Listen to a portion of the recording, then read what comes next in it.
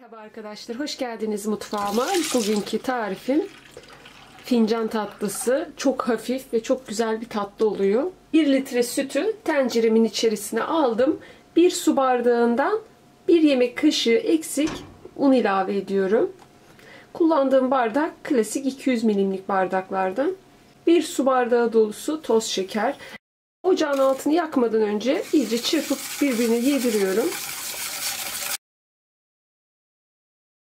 Karıştırdıktan sonra altını yakıyorum. Orta ateşte sürekli karıştırarak pişiriyorum. Kaynamaya başladı. Gördüğünüz gibi göz göz kaynamaya başlayınca altını kısıyorum. Bir paket vanilya. Bir yemek kaşığı dolusu tereyağı ilave ediyorum.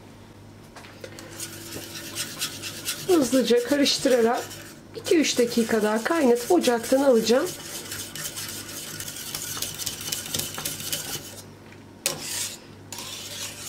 Kahve fincanlarını ıslattım. Ee, bunlar normal Türk kahvesi fincanı. Büyük fincanlardan değil. Eşit bir şekilde dağıtıyorum. Ee, içlerinde ıslattım. Islatmazsanız çıkarırken çok yapışacaktır.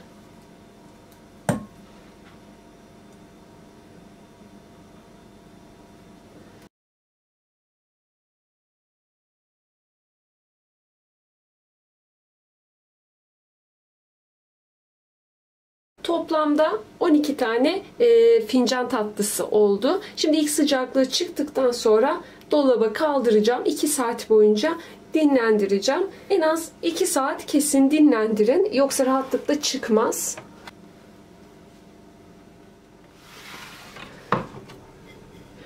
Bir su bardağı Hindistan cevizini genişçe bir tabağın içine aldım.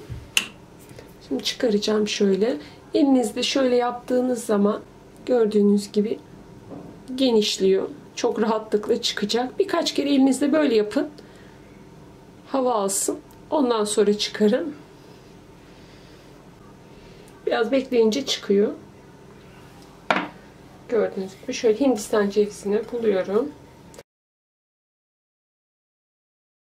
Bir servis tabağına alacağım. Gördüğünüz gibi öyle çok çok fazlasıyla katı değil. Bunu yerken çok daha güzel oluyor inanın ki. Çok aşırı katı hazırladığınız zaman böyle çatala e, taş gibi bir tatlı geliyor. O da hoş olmuyor. Ama böyle hafif akışkan olması daha güzel oluyor emin olabilirsiniz.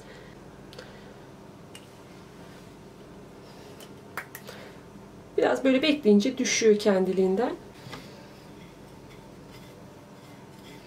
Bolca buluyorum.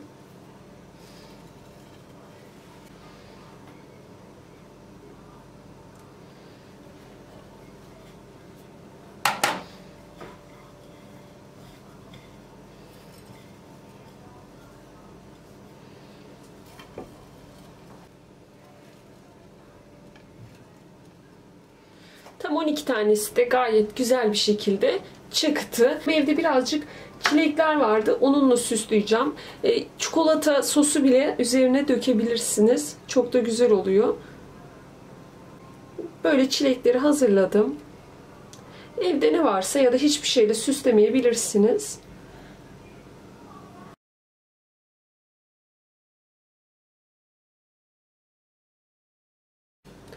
Şöyle yakından da göstereyim.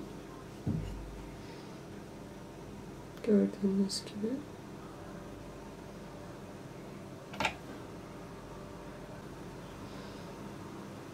Kamerayı iyice yakınlaştırdım. Size şöyle bir tanesinin kıvamını göstereceğim.